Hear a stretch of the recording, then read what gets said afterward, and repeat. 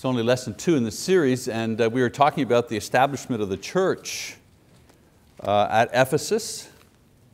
And last week uh, we uh, left on a note uh, of, um, uh, left on the subject of rebaptism because of the discussion in, in Acts chapter 19 verses one to seven. Again, the beginning of the church in Ephesus, um, why some disciples were rebaptized, why it seems some of them were not, and we just ran out of time. Uh, there isn't a universal agreement here, so we don't have to all have the same conclusion. The Bible does give some information, uh, but there are some things we just have to figure out for ourselves as we, you know, we just pick up the information from different parts of the uh, scriptures. So here's what I believe the Bible teaches on this question of John's baptism and Jesus' baptism and those who lived through the period of time when both of these were in effect. There's a kind of an overlap period there that uh, brings about a lot of discussion on this uh, particular topic. Let's go to Matthew, shall we? Chapter three, begin there. Verses one to six. It says, now in those days John the Baptist came preaching in the wilderness of Judea saying, repent for the kingdom of heaven is at hand. For this is the one referred to by Isaiah the prophet saying, the voice of one crying in the wilderness, make ready the way of the Lord, make His paths straight. Now John himself had a garment of camel's hair and a leather belt about his waist and his food was locusts and wild honey. Then Jerusalem was going out to him and all Judea and all the district around the Jordan and they were being baptized by him in the Jordan River as they confessed their sins. And so John preached, his sermon, his idea was that the Messiah and His kingdom were coming, and in order to prepare for that kingdom, a person was to repent and be baptized, to be immersed in water. If we continue in John chapter three, and again, we're just kind of going over a survey a, a, survey of the land there, John's baptism, Jesus taking it over, then the apostles to get an idea of uh, what we'll be talking about. Jesus' baptism, this time uh, Matthew 3, beginning in verse 13, it says, Then Jesus arrived from Galilee at the Jordan, coming to John to be baptized by him. But John tried to prevent him, saying, I have need to be baptized by you, and do you come to me?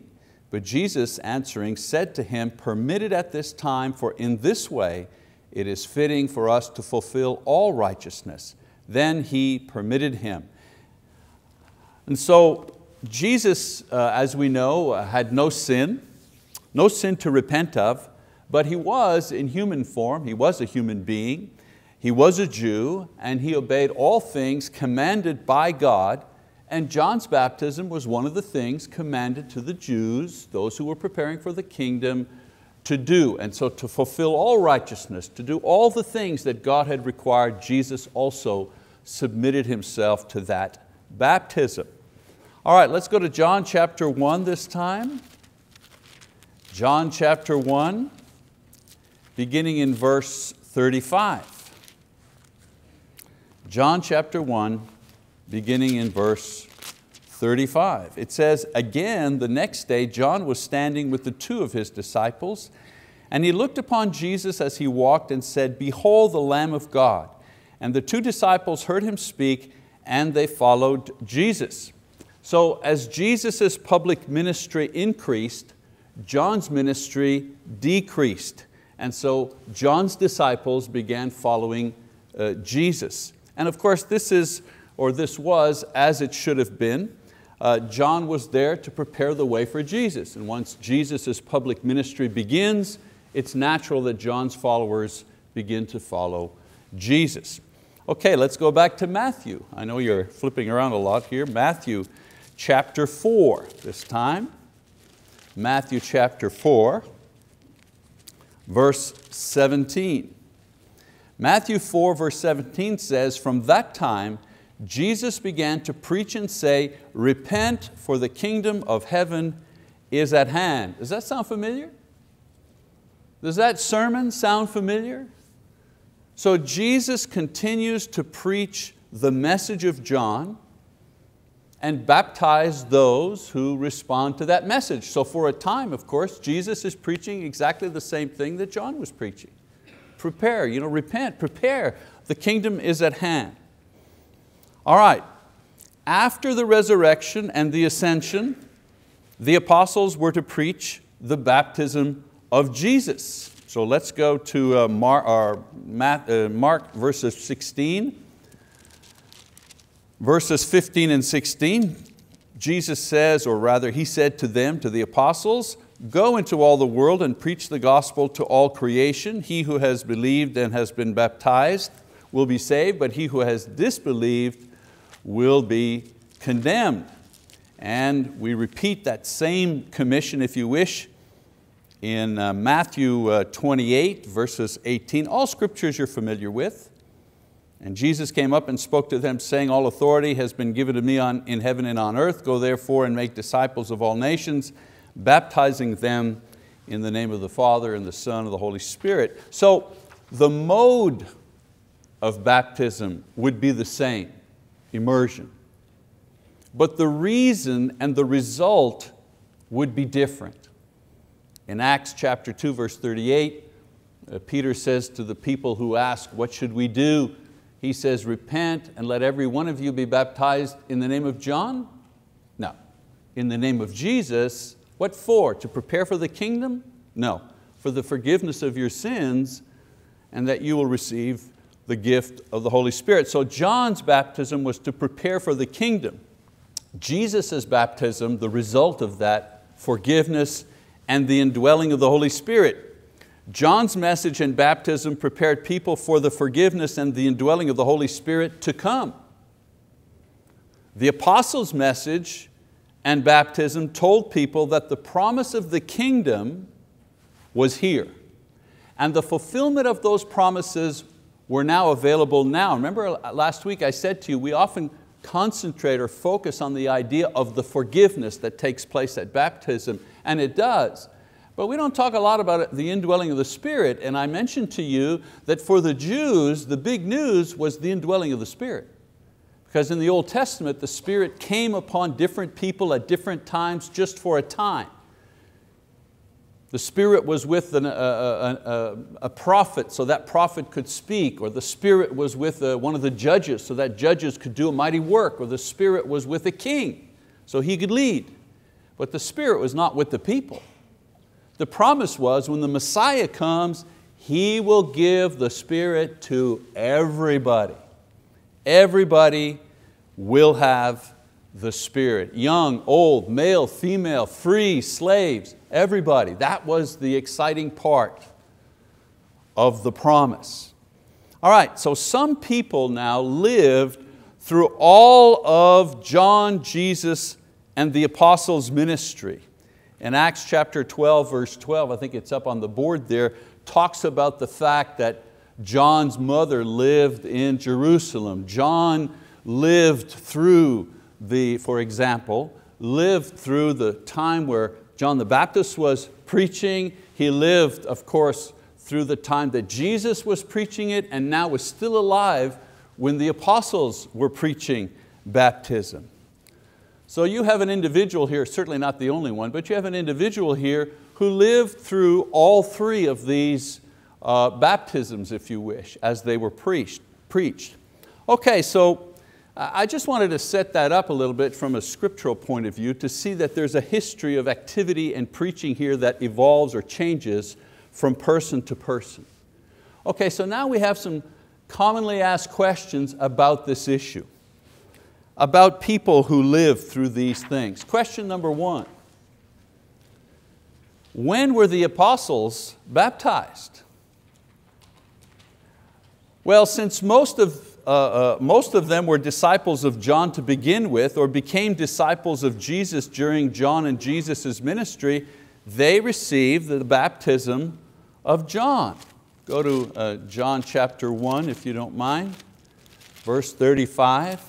Well, it says, again, the next day John was standing with two of disciples and he looked upon Jesus as he walked and said, behold the Lamb of God. And the two disciples heard him speak and they followed Jesus. They received the baptism of John. Why? Because the first time they heard the message was through the preaching of John. Next questions. Question. Were the apostles rebaptized after Pentecost when Jesus' baptism was preached at Pentecost? And why? Why or why not? The answer, no, they were not rebaptized. Because like Jesus, they had also fulfilled all righteousness. In other words, they had done all that God had commanded concerning this matter by receiving John's baptism. In other words, if you had been baptized during John's ministry or during Jesus' ministry when He was alive, meaning before His death, burial, and resurrection, then you didn't need to be rebaptized when Peter and the apostles began preaching Jesus' baptism at Pentecost.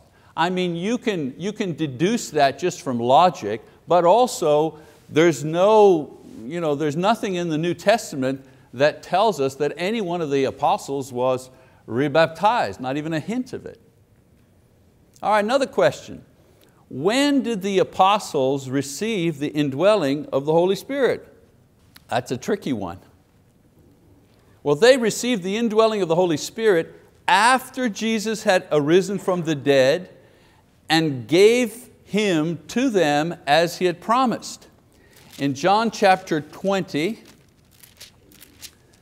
uh, verse 19 to 22, it says, When therefore it was evening on that day, the first day of the week, and when the doors were shut where the disciples were for fear of the Jews, Jesus came and stood in their midst and said to them, Peace be with you. Now remember, He has died on the cross, He's been buried, and He has resurrected, but He's not ascended to heaven yet. He's still appearing to the apostles and other disciples.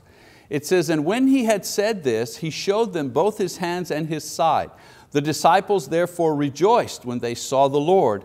Jesus therefore said to them again, Peace be with you, as the Father has sent me, I also send you. And when he had said this, he breathed on them and said to them, Receive the Holy Spirit. Receive the Holy Spirit. And so they were the first, and I want you to really pay attention to this word, they were the first ones to receive the indwelling of the Holy Spirit. Jesus said He wasn't going to give the Spirit until the cross, until he, his, after His resurrection. So the first ones that He gives the indwelling to are the apostles. He breathes on them and they receive the indwelling of the Holy Spirit. So that brings us to the next question. Well, what was it that they received at Pentecost?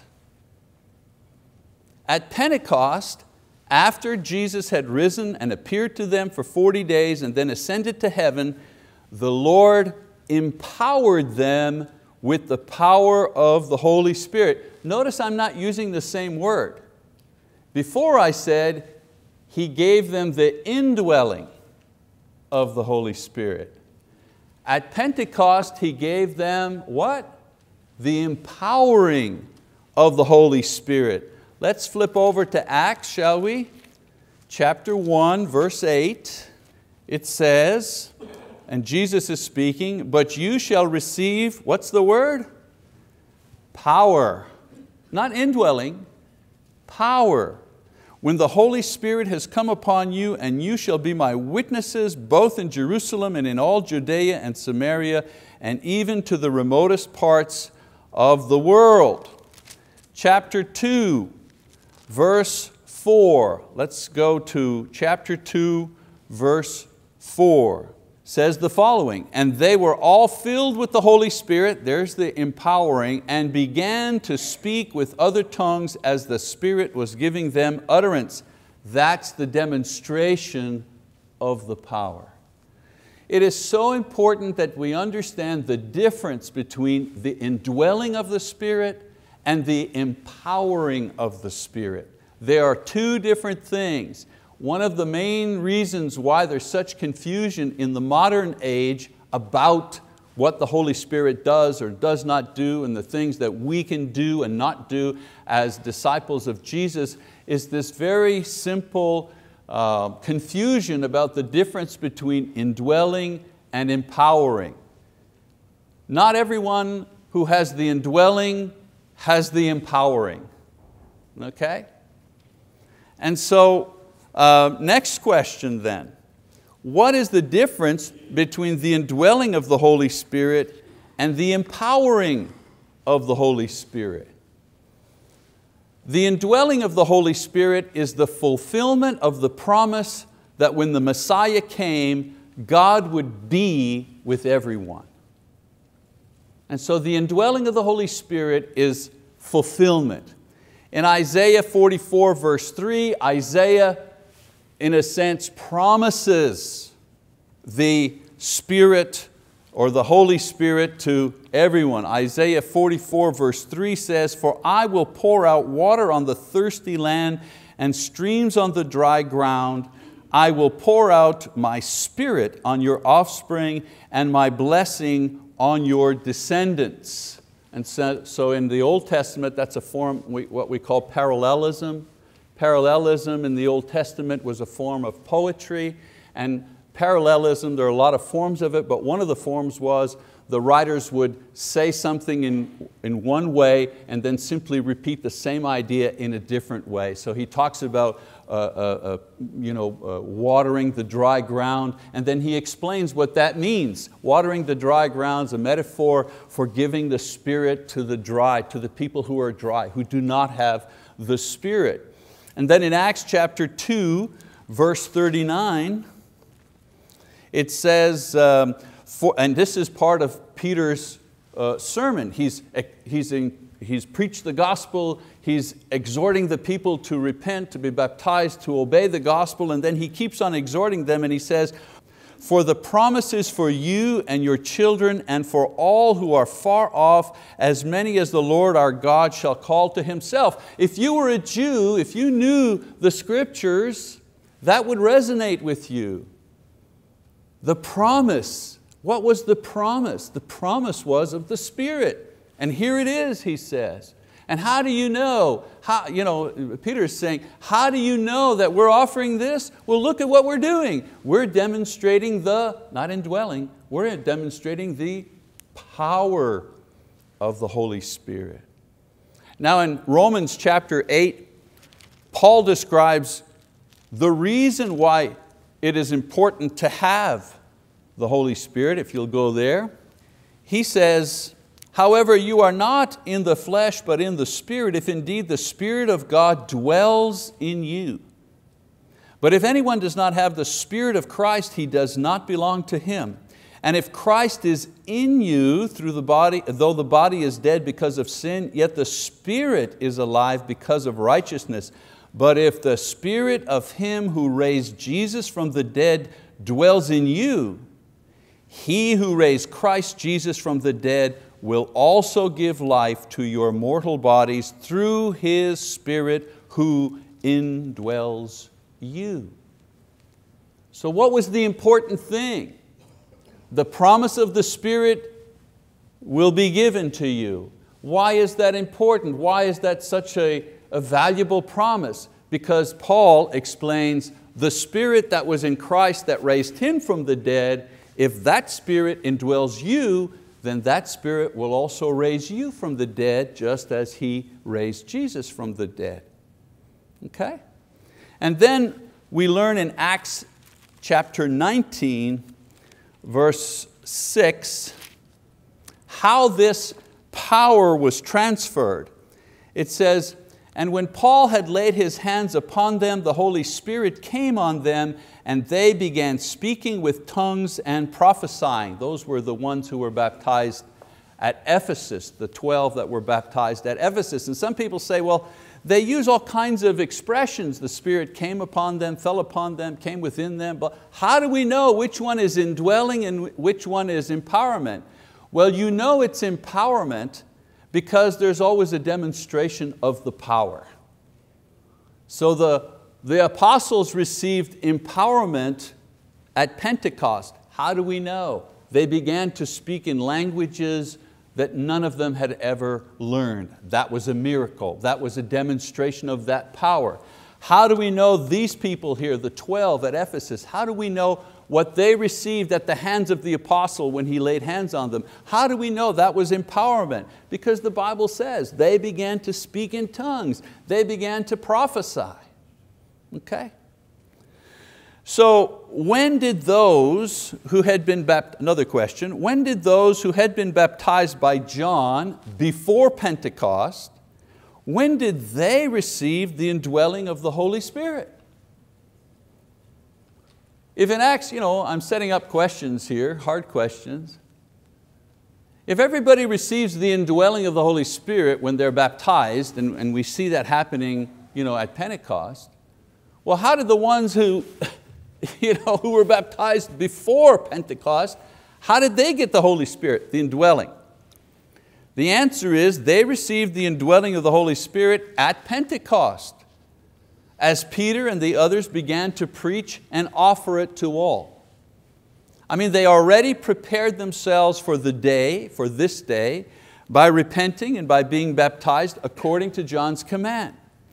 Now that forgiveness was available through Jesus' sacrifice on the cross, now that the Holy Spirit was given because Jesus had returned to the Father, John 15, 26, all of those who had received John's baptism were granted forgiveness and the indwelling of the Holy Spirit at Pentecost. Why?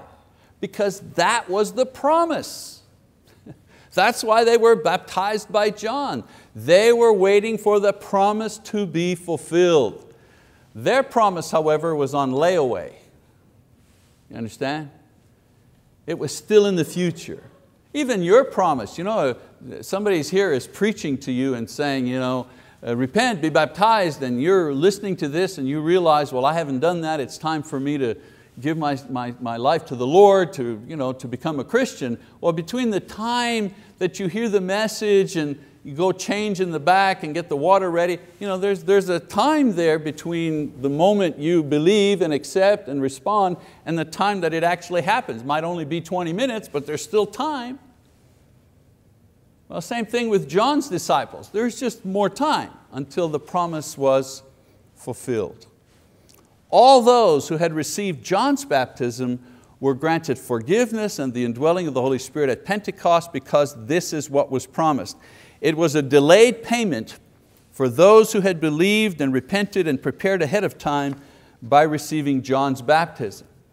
All those who had not received John's baptism and heard the gospel on Pentecost were therefore required to believe in Jesus, of course, as the Son of God, repent of their sins, be baptized, notice he says in Jesus' name, and they would receive forgiveness of sin and what? The indwelling or the empowerment? Come on. What do they get? They get the indwelling. What did you get when you were baptized? The indwelling. Do you know why? Because there's no part of the gospel that promises the empowerment. There's no part of the gospel that promises if you believe in Jesus, you will receive empowerment. The promise is you'll receive the indwelling. Why? Because the ultimate purpose of the indwelling is to raise your body up again to eternal life. All right, next question. What about the disciples in Acts chapter 19? Why were they rebaptized? Well, they were rebaptized because they received John's baptism, but they received it after Pentecost. They were baptized to show that they were preparing for the kingdom to come. Paul rebaptized them in the name of Jesus for forgiveness and the indwelling of the Holy Spirit. He did it the right way and the right reason. You know, if you say to someone, do you, you know, uh, were you baptized? And they go, yeah. Did you receive the Spirit? And the person goes, what Spirit? We never even heard of the Spirit. Well, you know that they haven't really heard the gospel. Certainly, Paul recognized this was the core idea of the gospel being preached uh, you know, by the apostles. So if they hadn't heard about the Spirit of God and receiving the Spirit of God, then something was lacking in their teaching. So obviously he had to teach them over again. Next question, why does it seem that Apollos, the one who originally taught these 12, why does it seem that Apollos, their teacher, was not rebaptized, but his students were baptized? Anybody can answer that question?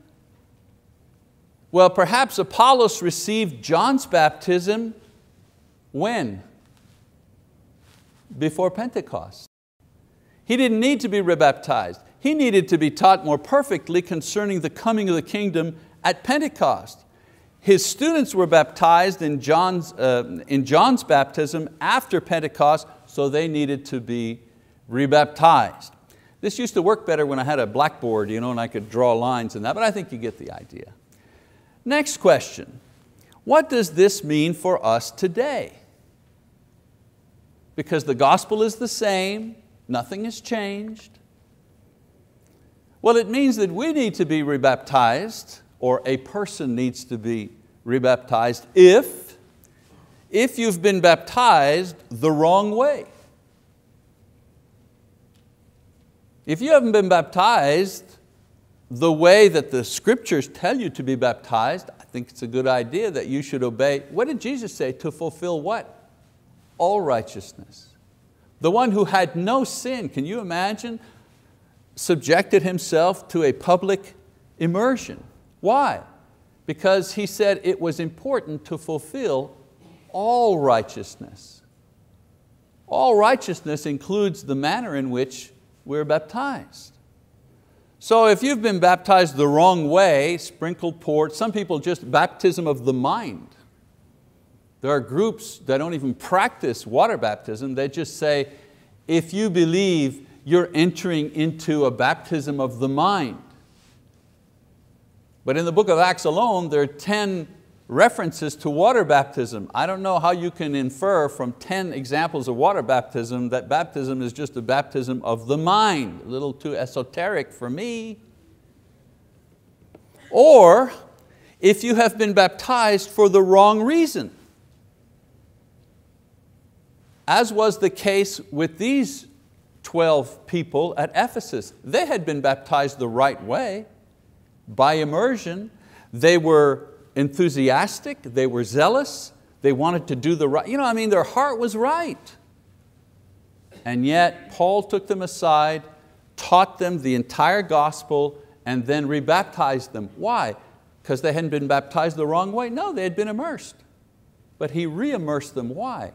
Because they didn't do it for the right reason. And many times, and this is a very individual thing, and I'm not you know, I'm not uh, you know, beating the drum here to get people to question their baptism.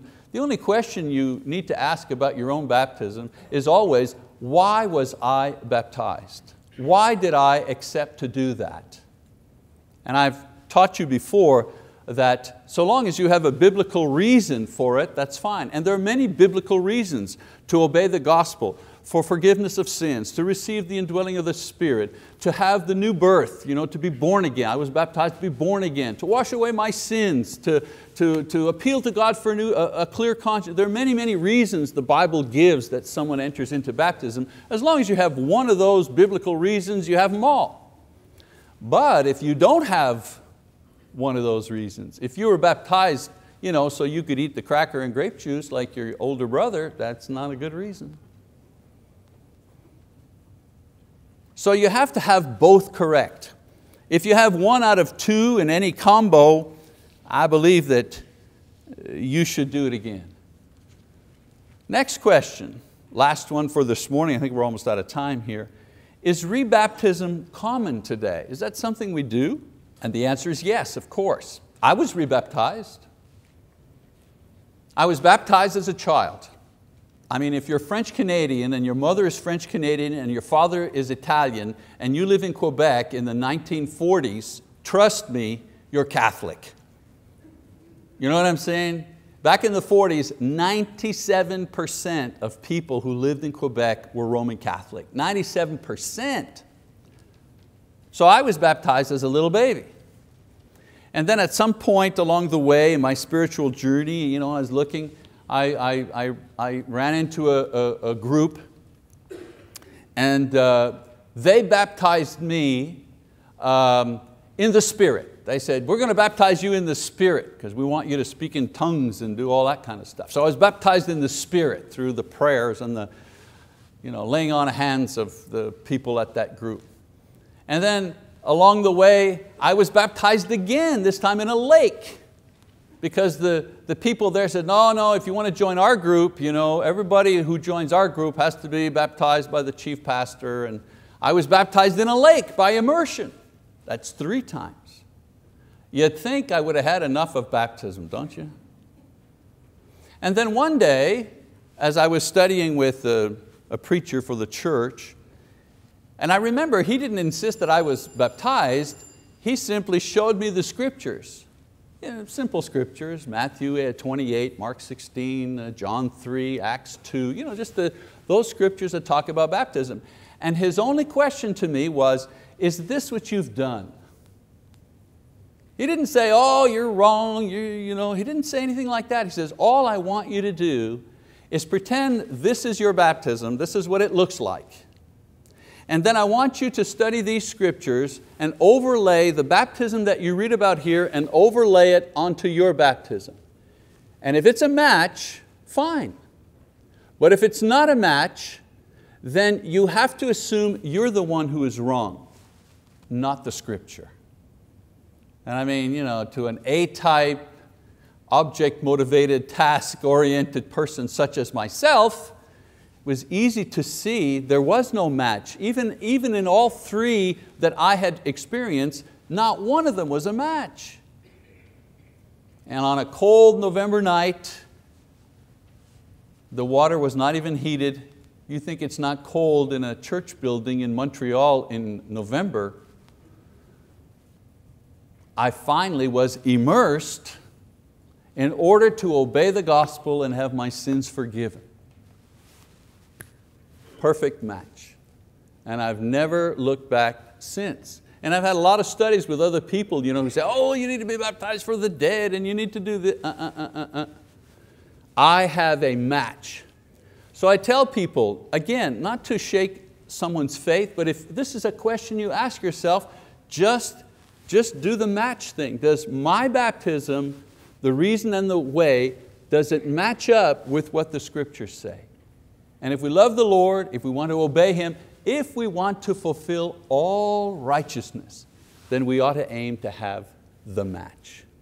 Okay, well that's our lesson uh, for today. I promise if Lord is willing, and we're still all here next week, we will actually get into Ephesians, the text, next week. We are dismissed for this morning. Thank you.